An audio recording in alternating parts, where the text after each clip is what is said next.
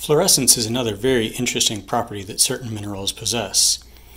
You can see here I have an array of a number of different mineral samples. I also have an ultraviolet light source. This particular multi-wavelength mineral light gives off ultraviolet in 254 and 366 nanometer range. If we look at this side, we can see that there's long wavelength ultraviolet and short wavelength ultraviolet. Now, looking at this visually, these lights appear very, very dark purple, but the camera interprets that light as a deep blue. Let's take a look at what the minerals look like when exposed to the ultraviolet light. Watch what happens when I turn down the white light.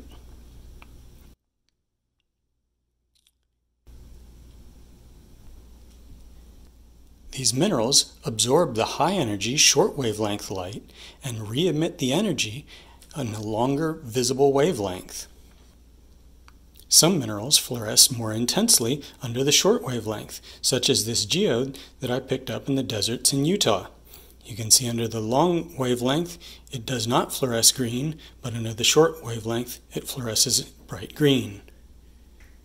Similarly, this scapolite under the short wavelength does not glow as intensely as it does under the long wavelength light.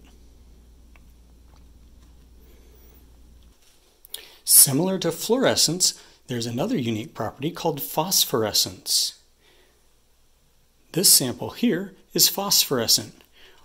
Watch what happens when I turn off the ultraviolet light. You can see that the other minerals quit glowing immediately, but this sample continued to emit light some period of time after I turned off the ultraviolet source.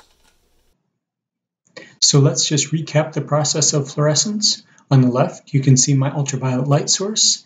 When I turn it on, ultraviolet light causes the mineral crystal to glow. The ultraviolet light is a short wavelength or high energy form of light. This high energy radiation is absorbed by the atoms and molecules in the mineral crystal. That absorbed energy is then re-released as a visible wavelength of light.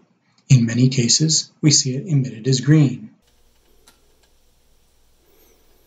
Again, it's very interesting to compare the vivid and brilliant colors the minerals are giving off when exposed to ultraviolet light compared to what they look like under white light.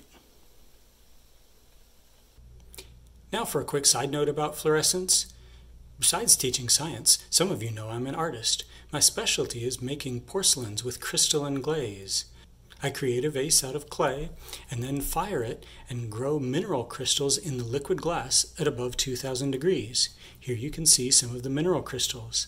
These crystals are the same as the naturally occurring mineral willemite, such as in this sample here.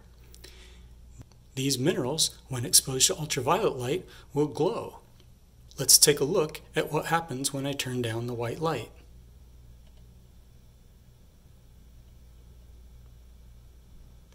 Once again, we can see the mineral crystals emitting visible light when exposed to the high energy ultraviolet light.